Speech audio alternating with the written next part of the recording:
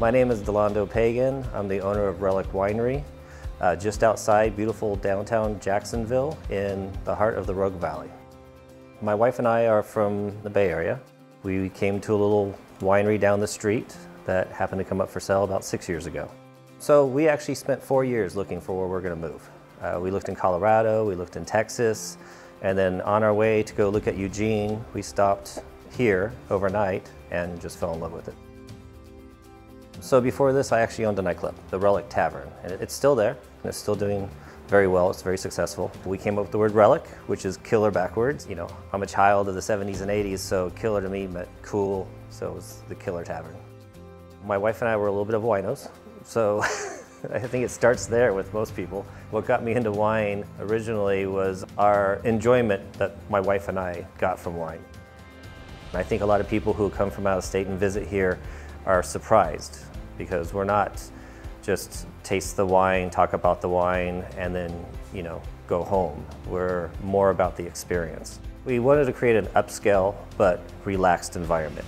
Uh, we're kid-friendly, family-friendly, pet-friendly. We want people to come here. We want them to enjoy the wine, the food. We have a fantastic chef. You know, enjoy some live music, go around, see the animals. Making wine and having a good product is what we are focused on first. Uh, we have a great winemaker. Uh, he's, he sits with us and we kind of give him an idea of where we want to go with our wines. We definitely have our own palate of where, what we want our wines to taste like. And he's pretty good at, at getting our wines to that. We have our vines here. We also source from other local wineries here in the valley for other varietals that, that we don't grow here. Being just outside of Napa, we were always there wine tasting, and a, a, lot of our palate comes from the wines that we enjoy from Napa. The main thing we like to do is we like to have fun when we make our wine. Being here in Jacksonville, it's hard not to, to know about Oregon Wine Experience, and it really was one of our very first competitions that we ever entered. Right off the bat, it was a very exciting event, so we wanted to be a part of it as much as we could. The wine that we'll be blending for the next barrel auction will be our next generation three-eyed raven. Uh, we call it three-eyed raven because we always blend three different reds. This next one will be lot four of three-eyed raven, and it is a uh, raw Cab Franc Tempranillo blend.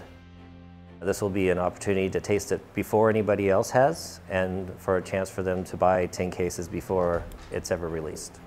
I mean, obviously it's a great cause. Um, number two, it's, it's a local cause. It's nice to see something that you're giving to that you can just go down and actually see where the money is going to.